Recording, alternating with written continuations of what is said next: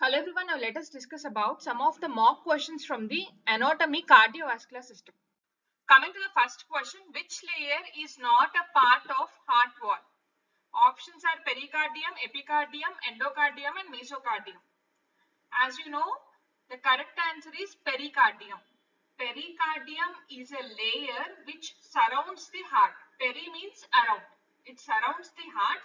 It is not a part of whereas epicardium is the outer layer of the heart wall, myocardium is the middle layer and endocardium is the inner layer of the heart wall. These three are part of heart wall whereas pericardium is not a part of heart wall. Next question, which valve allows the blood to flow from right atrium to right ventricle? Which valve allows the blood to flow from right atrium to right ventricle. Tricuspid valve is the valve that allows the blood to flow from right atrium to right ventricle.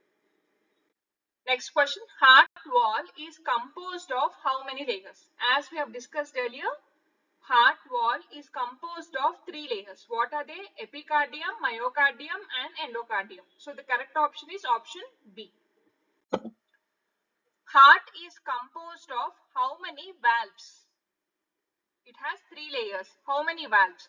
Heart has four valves. What are they? Tricuspid valve, bicuspid or mitral valve, pulmonary valve and aortic valve. These are the four valves of the heart. What are they? Tricuspid valve, bicuspid or mitral valve, pulmonary valve and aortic valve. So the option is 4. Heart is composed of 4 valves. Which valves are called as semilunar valves? Which valves are called as semilunar valves? The pulmonary and aortic valves. The aortic and pulmonary valves are called as semilunar valves because they are made up of three crescent moon-shaped cusps. Semi means half, lunar means moon-shaped. Hence the term semilunar valves because they are made up of three crescent moon-shaped cusps. Whereas bicuspid valve is composed of two cusps and tricuspid valve is composed of three cusps. So pulmonary and aortic valve are called as semilunar valves. Which is the thickest chamber of the heart? The next question is which is the thickest chamber of the heart? Left ventricle. Left ventricle is the thickest chamber of the heart. The left ventricle is the thickest chamber of the heart averaging 10 to 15 mm or 0.4 to 0.6 inches and it forms the apex of the heart. Coming to the next question, what is pericarditis?